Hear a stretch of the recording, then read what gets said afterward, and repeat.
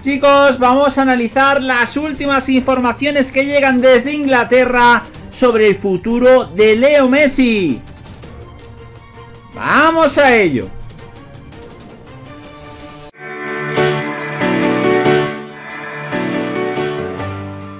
Hola de nuevo chicos, ¿cómo estáis? Bienvenidos de nuevo a otro vídeo para el canal. Vamos a analizar la última hora del futuro de Leo Messi Vamos con este corto video, por tanto te animamos a que te quedes hasta el final y a que nos dejes un buen like. Vamos sin más dilación chicos, analizar qué es lo que dicen desde Inglaterra y es que Lionel Messi no estuvo sobre el terreno de juego la noche del pasado martes y tuvo que asistir desde la grada desilusionado a una nueva mala actuación del Barcelona.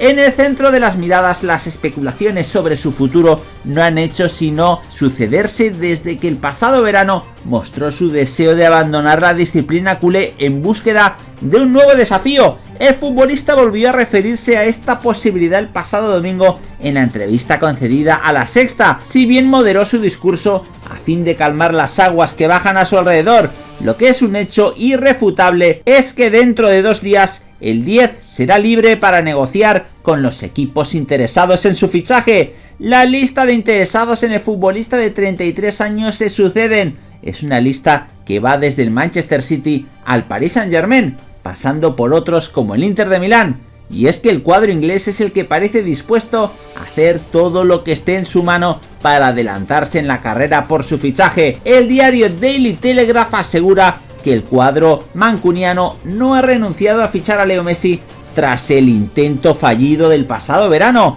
La última entrevista a Leo Messi incluso ha reforzado la creencia de los Citizens, sobre todo gracias a su franquicia neoyorquina.